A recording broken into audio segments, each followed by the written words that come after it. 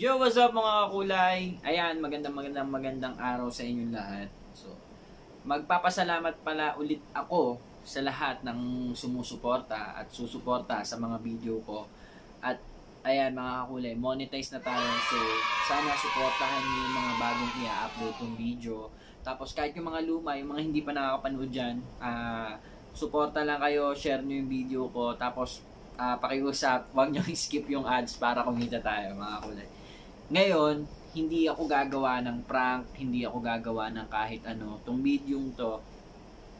Kasi, may nabasa ako kahapon about dun sa isang ano, dyan sa isang media, social media influencer o vlogger, vlogger daw, daw siya, vlogger, na medyo nagpanting yung tenga ko. Hindi ko nagustuhan yung napanood ko, tsaka yung mga nababasa ko tungkol dun sa ginawa niya. So, siguro mga kulay, kilala nyo na tong, tong medyo ganyan yan, ganyan na vlogger. Ngayon, titirahin ko. Hindi ko na sa, hindi na sana ako magbibigay ng opinion o hindi na sana ako palalampasin ko na kaya lang may mga kaibigan ako nag-PM sa akin, nagsabi sa akin na baka pwede kong bigyan ng reaksyon o magbigay ako ng opinion dun sa ginawa nitong social media influencer na ewan, basta tong tong gusto atang idolohin, no? gusto atang magpasikat sa sinabi niya. So, ito, ito yung unang sinabi niya, nabasa ko ah, kaya medyo nag-init yung ulo ko kasi marami akong tropa, marami akong mga barkada na nagta-tricycle. So, sabi niya sa mga nagsasabing marangal na trabaho ang pagiging tricycle driver, hinahamon, hinahamon ko kayong lahat na magpakita sa akin ng school na nag-o-offer ng course tungkol sa pagta-tricycle. Common sense na lang mga te, 2020 na, tahol pa rin kayo ng tahol kahit wala kayong alam. So, common sense din sa'yo, social media influencer, ikaw, common sense din, saan ka nakakitang school na nag-o-offer ng pagta-tricycle? Yan. Tanong ko sa'yo, Ayan, ihanap mo ako ng, ng school na ano na nag-o-offer ng pagta-tricycle. Kahit sino pwede mag-tricycle. Kahit ako dati nung nasa Pilipinas ako nag-tricycle ako eh. So hindi ko kinakahiya 'yon. Tapos marami rin ako mga barkada nag-tricycle. Ginagawa nila yan habang nag-aaral. Yung isang barkada ko, high school. Habang nag-aaral siya, nagta-tricycle siya sa madaling araw para meron siyang pambaon. So, napakarangal ng trabaho ng pagiging tricycle driver. O, oh, ayan. Yan ha, ikaw ha. Sa susunod ha, sa susunod na magbibitaw ka ng salita, sisiguraduhin mong walang maapektuhan. Gusto mong tularan ka ng mga kabataan, pero yung mga sinasabi mo wala namang kakwenta-kwenta. So, ayan ba? Yan ba yung yan ba yung dapat ano, dapat tularan ng mga kabataan? Gusto mo magpasikat, pero sumisira ka ng ano ng tao. Anong gusto mo maging tingin sa iyo? Oh, ayan, oh, ayan, oh. Ito pa, oh.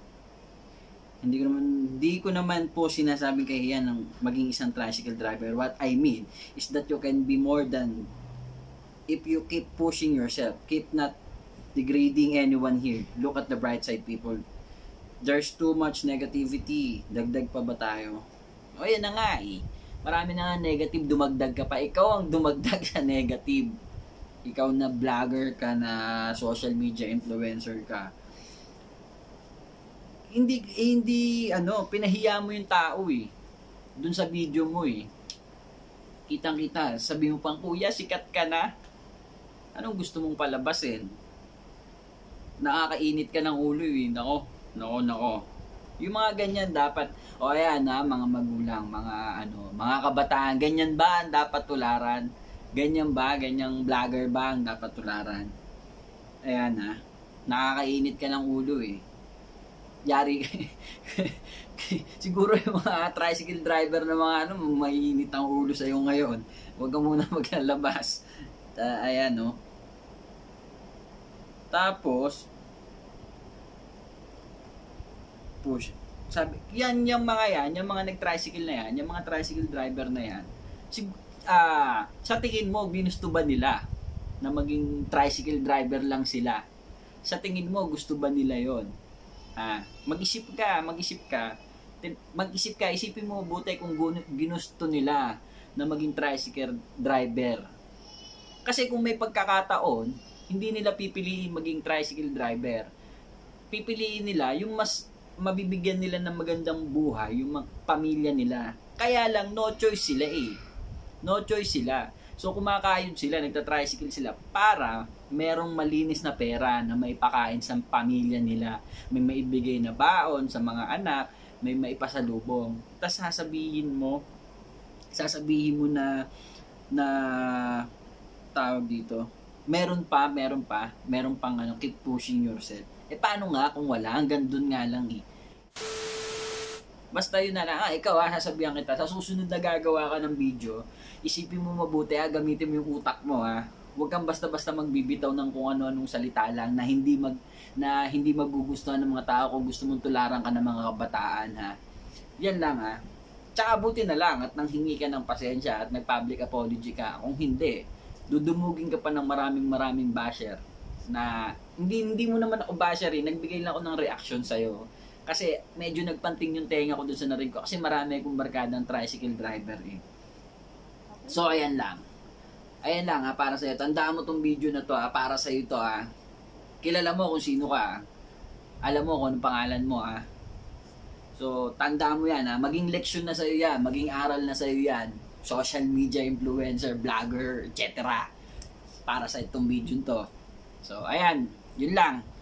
Nagbigay ko na yung salubin ko mga kulay. So, maraming maraming maraming salamat. So, sana patuloy nyo suportahan yung mga videos ko. So, hintayin nyo pag uwi ko ng Pilipinas. Gagawa tayo ng malupit na malupit na content.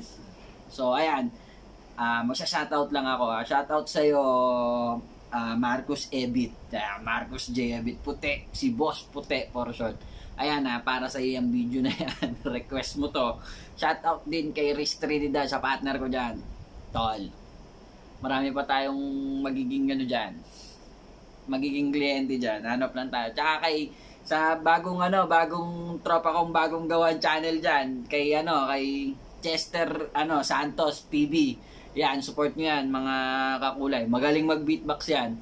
So, ayun lang. Maraming maraming salamat. So, thank you. Sana makarating sa iyo to, uh, social media influencer, vlogger. Sana mapanood mo tong video to para maging aral sa ito ha. Yun lang. Maraming salamat mga kulay. Until next time. Bye!